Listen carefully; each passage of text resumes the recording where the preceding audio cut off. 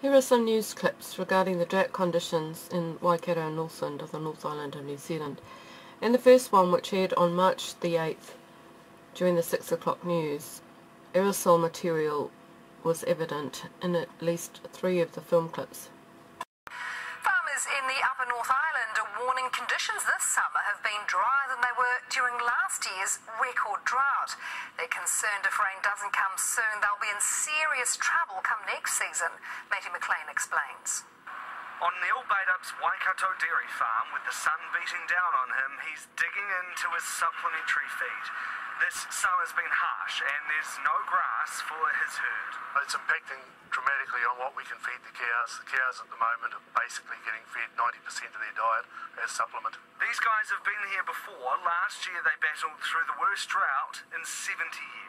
Yeah, I think they're even drier than last year. This next month is actually the most crucial. If farmers don't see significant rainfall in the month of March, it has a massive impact on next season in terms of calving and milk production farmers around here are understandably concerned. Many are already looking to begin drying off their herd two months before they normally would.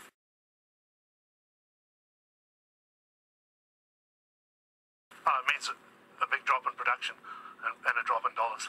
Um, so that's yeah, that, that's really what the effect of it is. We travelled to the yard sales in Feilding where stock agents have noticed an influx in activity. People have been destocking a little bit in the last week or 10 days to, to get through uh, the rest of the summer and, and coming into the winter.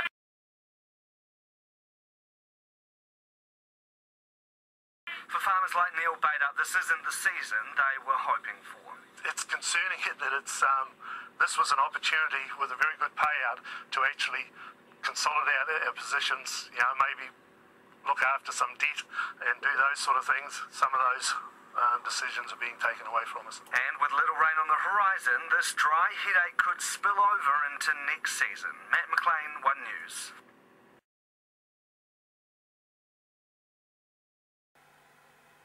Waikato farmers are calling for the government to declare a state of drought in what they say are conditions far worse than last year. The situation is just as dire in Northland, but forecasters say there could be some respite at the end of the week. Adrian Taylor has more. As you drive through Mandy McLeod's Morrinsville farm, it's obvious from the colour of the landscape things aren't as they should be. Just look out the window there, you can see the, the paddock looks rough because the cows have actually started to pull the plants completely out of the ground. And we've had three years of that. She says her farm hasn't received significant rain for months, and the conditions are far worse than during the nationwide drought last summer. We've been here for 35 years, and this is the worst we've ever seen it. McLeod has only just repaid a $100,000 loan taken in last year's drought and is now facing the emotional and financial strain all over again. Uh, look, Keeper, you're looking at $300,000 plus. And it's not just the Waikato region suffering. Federated farmers in Northland told 3 News they would need about 180 millimetres of rain in multiple bursts and over several days to get their pastures back to where they would like them to be. The Ministry for Primary Industries says it's monitoring the situation daily in both regions, but hasn't yet received a formal appeal for help from either. And farmers in both regions may just have their wish of rain fulfilled this weekend. It's all coming courtesy of some tropical moisture, tropical system working its way down, good chance for some rain and probably some widespread rain in many places. Until the rain comes, McLeod says declaring a state of drought would provide some relief to farmers, even if it's only the comfort of knowing they're not battling the elements alone. Adrian Taylor, 3 News hammered uh, with rain over the past few days. Parts of the North Island haven't had anywhere near enough farmers in several North Island regions are struggling to feed stock as dry conditions take hold. For more, we're joined by Federated Farmers Auckland Provincial President Wendy Clark. Wendy, good morning. Last year, a one in 70 year uh, drought scenario. How are we shaping up in comparison to last year this year? Well, for the areas that are badly affected, um, it's shaping up to be the same as last year, but for most of the country, it's okay. I understand as, as far as the, the month-long Met Service forecast goes, though, things aren't looking terribly bright. No, they're not. There's no significant um, rain uh, predicted, so uh, that's going to compromise the autumn growth and affect uh, winter supplies.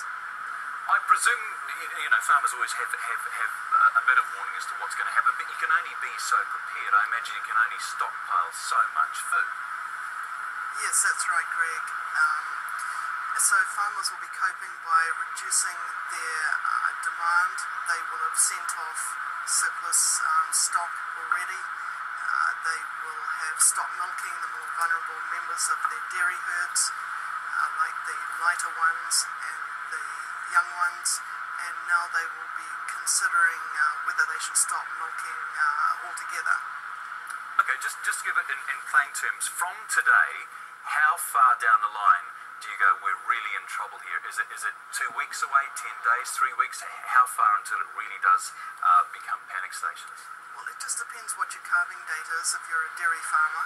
Um, um, it's um, it's it's now serious, so a lot of us will be considering um, drying off the herds early, um, which is disappointing, but that's what's necessary to conserve our feed supply and um, and to ensure that um, we are not compromising next season's production.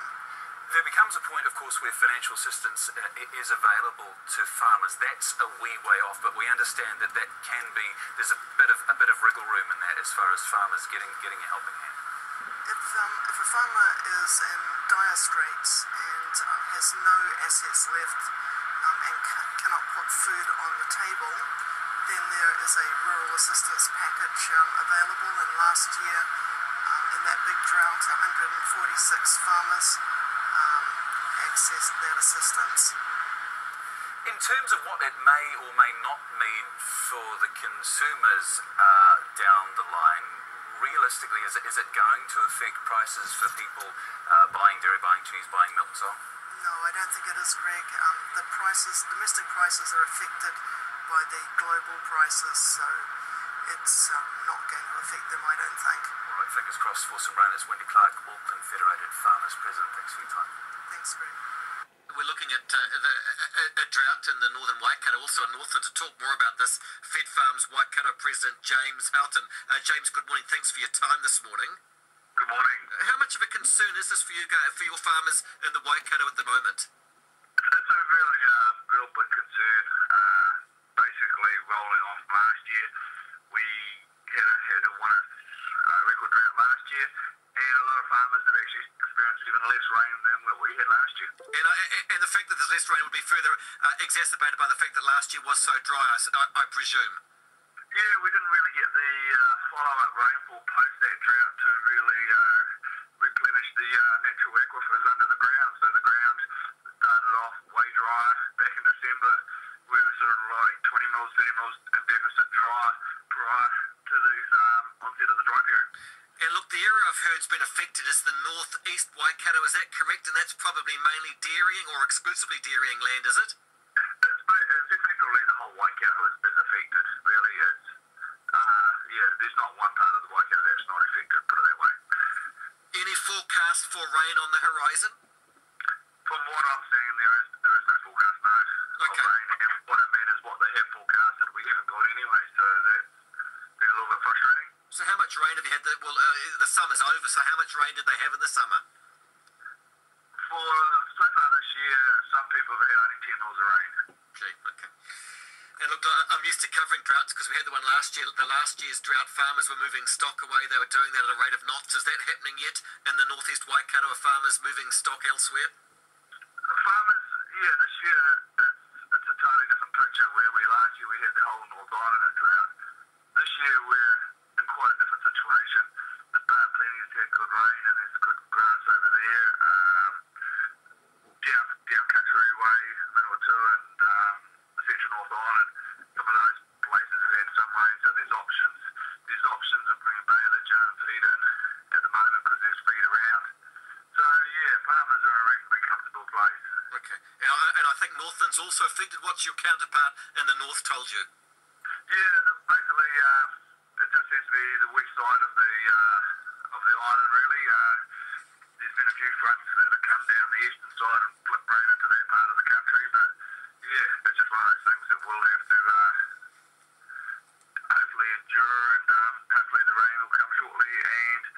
um, get some relief. Okay, what's the forecast looking for? Have you seen any that looks promising? Well, it's interesting.